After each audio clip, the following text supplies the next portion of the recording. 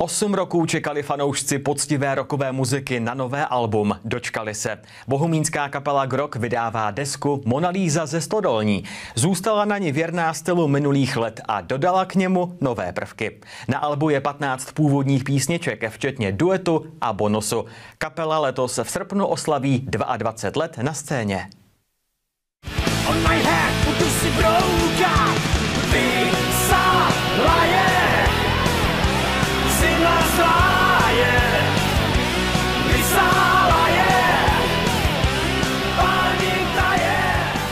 Tenhle grok je pořádně silný. Směs tvrdých rokových pecek a balad funguje nejen na domácí publikum. Od posledního alba Vysala je uběhlo několik sezón. Dost času pro novou muziku a pro nové texty.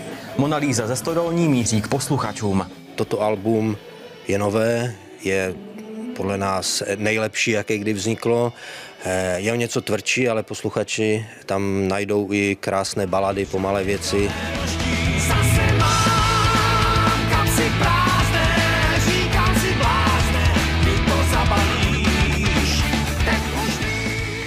Kapela Grok hraje ve složení Dalibor Halamíček zpěv, Martin Sitek, Mirek Satora a Jan Valuštík kytary a Roman Horníček bicí.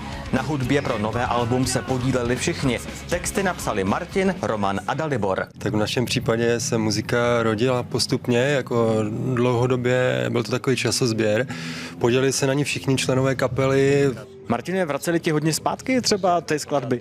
Eh, vraceli to, oni dělají pořád, ale já už jsem na to zvyklý, takže už se nerozčiluju, v klidu to předělám nebo přinesu to samé znovu a oni už zapomenou, že, že to vraceli a jsou rádi, že to je super. K tvrdým rokovkám patří titulní Monalíza ze Stodolní nebo Zubatá. Skupinu autorských balad rozšiřují třeba duet Dál mizím s tebou nebo Bloudím v tobě dál. Já myslím, že v těch textech byste mohli slyšet uh, úplně ovšem, když to tak vemu celkově, život, uh, problémy v životě, uh, něco je i na mě ušito, jak tady kluci udělali, takže um, já myslím, že tam opravdu posluchači najdou úplně vše. Nejbližší je pro mě bonusovka, kterou jsem vlastně složil celou i hudbu i text.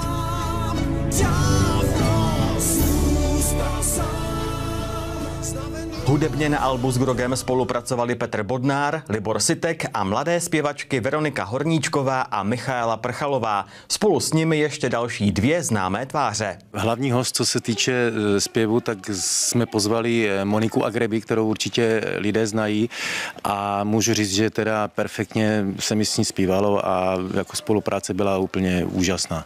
A kromě Moniky Eh, na albu posluchači můžou slyšet výborného kytaristu Andonise Civopulose, který s náma už v minulosti spolupracoval eh, a výborná, výborná zpráva pro eh, nebo hudební fanšmekry je ta, že Andonis přijede i na náš křest. Album Monalíza ze Stodolní je pátým v pořadí z dílny bohumínské kapely. Některé z novinek už zazněly na letních koncertech, další budou ještě o prázdninách. Ta deska vznikala 8 let, vy jste se opakovaně zavírali do hudebního studia, ještě pořád tu muziku můžete slyšet. No, teď už ji neposloucháme a osobně teda moc ne. Dám si nějaký odstup časový a pak si pustím serečka a zhodnotím, jestli se to fakt povedlo nebo ne. Teda. Teď si to hlavně užíváme na veřejných koncertech, takže tam to hrajeme rádi, ale poslouchat to moc nemusíme. Křest bude 13. srpna letošního roku v rámci pivních slavností, které se budou odehrávat v areálu hobby parku Bohumín a z okolností to bude eh, na den 22 let eh, od prvního vystoupení skupiny Grok. Heč.